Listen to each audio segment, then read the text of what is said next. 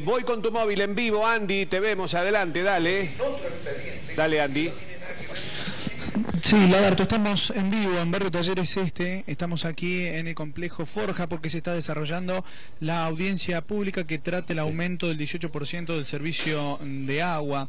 Tenemos que decir que hubo escasa participación de los vecinos, apenas siete oradores, vecinos ellos, que algunos ya han expuesto, otro lo está haciendo en este momento y tal vez quede alguno más que vaya a dar eh, sus explicaciones o vaya a rechazar este, este aumento. Eh, tenemos que agregar que hay eh, un expositor que es representante de Aguas Cordobesas y otro del ERCEP.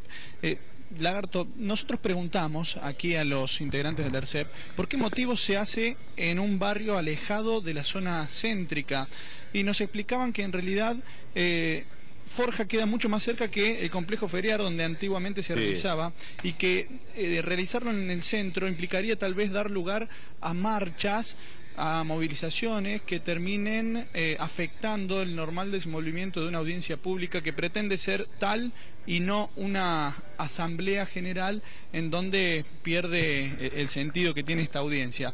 Pero bueno, claro está que eh, sigue siendo lejos porque aquí hay escasa participación de los vecinos, por supuesto hay responsabilidad de ellos también, pero aquí por lo menos lo que nosotros podemos mostrar es esto, Lagarto. ¿no? Vamos a, poner un poquito el, audio y ustedes ustedes cortarán cuando sí, sí, está bien, está bien. para que escuchen un poco también qué es lo que aquí están exponiendo. Está bien, de, este todas maneras lo más importante, y creo que a la gente no se la embroma con esto, es que por más que eh, vayan 50.000 personas, no es vinculante lo que se resuelva allí. Es decir, vos podés invitar ahí a 50.000, 100.000 personas, con un buen orador, con todo lo que vos quieras, y como no es vinculante, el aumento va a salir igual. Es decir, esta es la pirotecnia de la democracia para hacernos creer a nosotros los ciudadanos que participamos en todas las decisiones y que tenemos voz y voto. Mentira.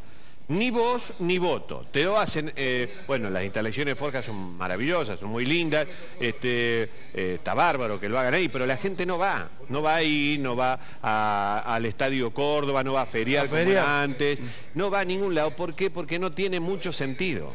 Allí los siete expositores que hubo de los vecinos fueron escuchados por los vecinos mismos y por más que sea espectacularmente sostenido el argumento, no lo van a modificar porque no es vinculante. Es Distinto sería... Una formalidad burocrática. Es una formalidad burocrática, una engaña pichanga de eso que te dicen, no, hacemos estas audiencias populares. Distinto sería si hubiera consultas populares vinculantes.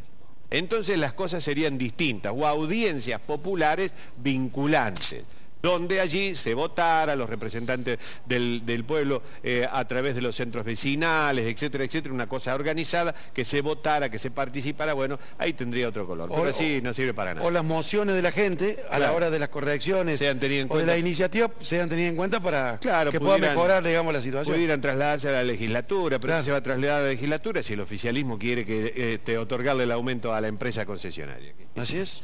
Bueno, muy bien.